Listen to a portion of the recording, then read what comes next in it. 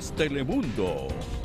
Hola amigos y muchas gracias por acompañarnos. Soy Abby Econi y aquí está su pronóstico extendido. Hoy podremos tener tormentas fuertes con granizo, lluvia, inundaciones y viento impredecible.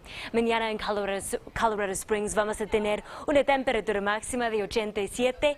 Después tendremos temperaturas máximas en los 80 con posibilidades de lluvia y tormentas hasta el jueves. Y en Pueblo mañana vamos a tener una temperatura máxima de 95 Después tendremos temperaturas máximas en los 80s y 90s con posibilidades de tormentas hasta el lunes y el miércoles hasta el jueves. Amigos, muchas gracias por acompañarnos y nos vemos hasta la próxima.